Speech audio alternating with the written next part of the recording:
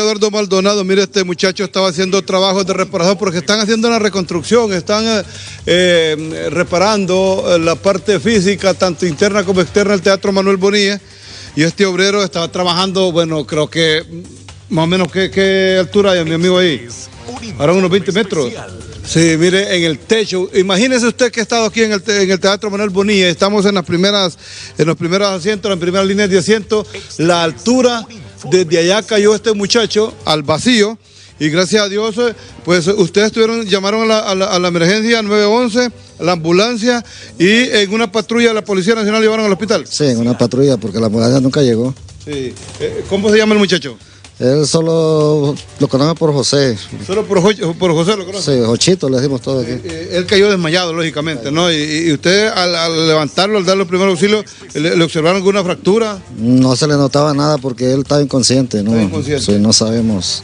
¿Ya días trabaja con ustedes él? Sí, ya tienen varios tiempos. Sí. Eh, ahora, a, a la emergencia del hospital escuela lo llevaron, ¿verdad?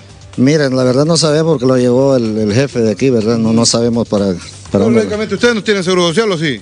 Eh, bueno, nosotros llenamos papeles como en otro lado. No sabemos, pero creo que sí tenemos, ¿verdad? porque nosotros Pero- llenamos papeles como en todos. Lo más seguro entonces es la emergencia del hospital escuela que lo llevaron. Probablemente sí. Bueno, y eso, eh, eh, aquí, aquí donde estoy ubicado, aquí donde estoy parado aquí, toda esta parte, eh, aquí, él cayó encima de la, de la silla o, en, el, en el vacío.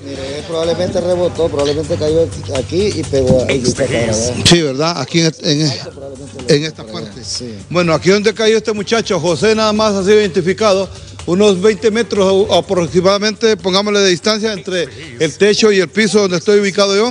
Eh, esta persona ha salido lesionada y ha sido llevada de emergencia al hospital escuela por parte de las mismas autoridades que están trabajando acá en la reparación del eh, Teatro Manuel Bonilla y una patrulla de la Policía Nacional. Les daremos seguimiento a ver qué pasa, si ya ingresó y cuál es el estado de salud de este joven obrero de la construcción que tuvo este accidente de trabajo y que eh, ha llegado o lo han llevado a la emergencia lesionado. Pendiente más informes a través de Hable Como Habla Televisión Digital. Gracias. Bien, gracias.